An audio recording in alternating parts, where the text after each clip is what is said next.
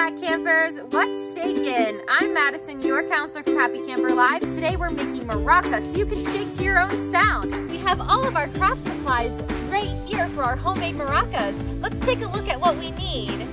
We need plastic spoons, glitter glue, sticky gemstones, masking tape, plastic eggs, dry rice, colorful feathers, glue, more gemstones, paint, paintbrushes, and of course we need sprinkles.